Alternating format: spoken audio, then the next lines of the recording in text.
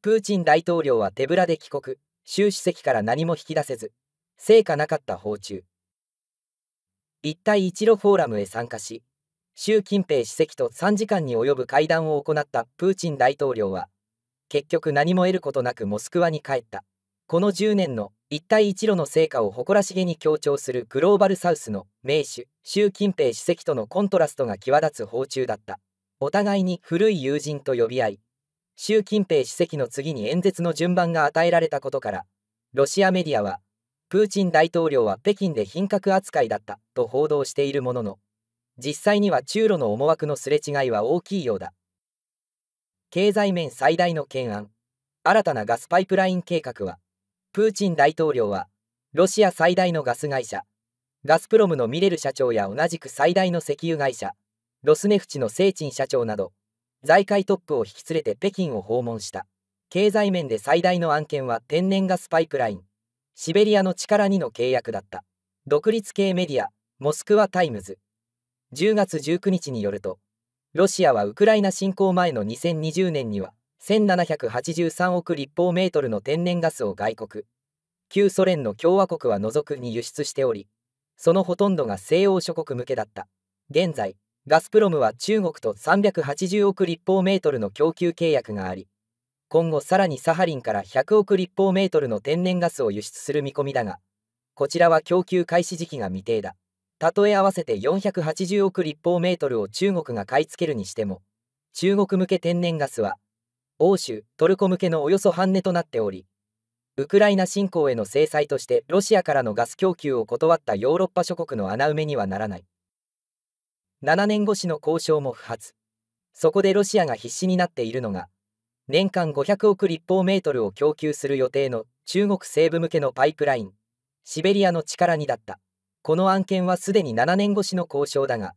毎回習近平主席との会談の前にプーチンは新たな契約締結について力を込めて語ってきた。しかし今回もまた契約は空振りに終わった。中国政府としては、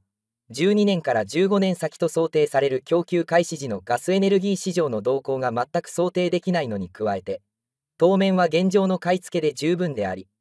さらに新しいパイプラインが第三国モンゴルを通過するという点にも危惧の念を抱いているからだ。その上、中国企業としてはロシア国内の政治リスク、欧米からの追加制裁など不透明極まるロシア市場へは深入りしたくないというのが本音のようだ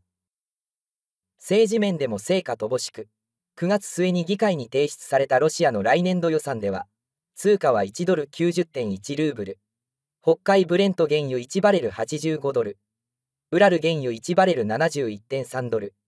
GDP 成長率は年率2.3%を想定して組まれている。戦費の拡大から2024年の歳出は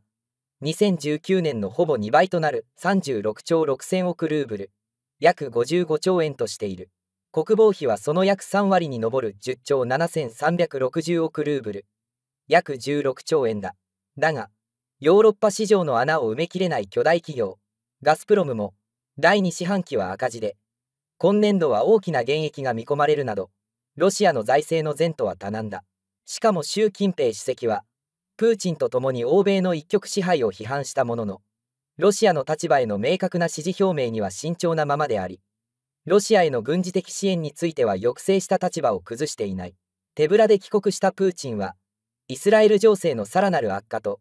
欧米のウクライナへの支援疲れに頼るしかなくなってきているようだ。なぜ中国は台湾は自分のものと主張するのか。反日から誕生した中国共産党の歴史。一党支配体制を敷く中国共産党とはどんな組織なのか。ジャーナリストの池上彰さんは第一次世界大戦後の対日運動から誕生し当時の党員は都市部のインテリら約50人だった。彼らは日本の侵略から中国の人民を解放したを大義に掲げている。という。山東半島を獲得した日本への抗議運動。現代の中国を率いる中国共産党が創設されたのは1921年。誕生してから100年が経っています。反日運動の中から生まれました。きっかけは1919年5月4日です。当時の中国は帝国主義諸国の侵略を受け山東半島はドイツが占有していました。そのドイツが第一次世界大戦で敗北したことから中国の多くの国民が山東半島が返還されると期待していました。ところがベルサイユ条約第一次世界大戦の講和条約で山東半島はドイツから日本に引き渡されます。これに起こった中国の若者たちが街頭に出て抗議を繰り広げました。これが5.4運動です。この運動の盛り上がりの中から中国共産党が産声を上げるのです。世界最初のコミンテルン支部だった。これより2年前の1917年ロシア革命が起きると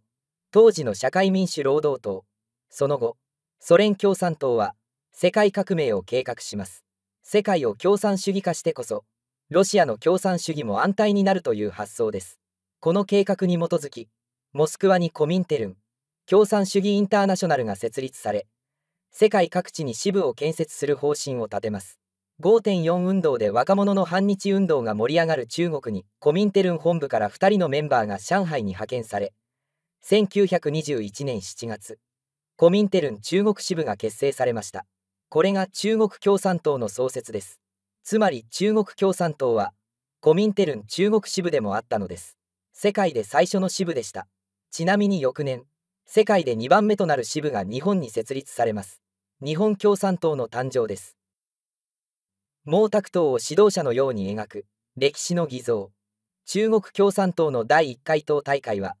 上海の中心部にほど近い住宅街で開かれました。当時の党員は約50人。そのうちの代表12人。13人という説もあるが集まりました。この頃の中国共産党は大学教授など都市部のインテリが中心でした。労働者と農民の党ではなかったのです。第1回党大会が開催されたこの場所は現在は記念館となっていて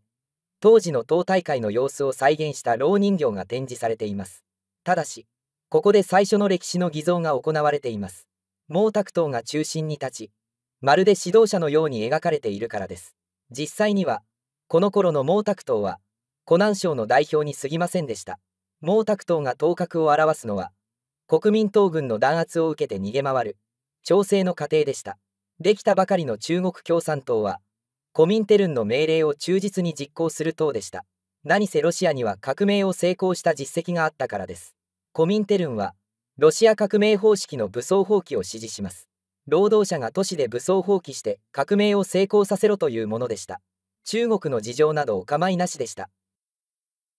武装放棄はことごとく失敗。ゲリラ闘争へ。当時の中国の国民の多くは農民で労働者は都市部の一握りの存在に過ぎませんでした。労働者の間で支持を獲得しても全国への統制拡大にはつながりません。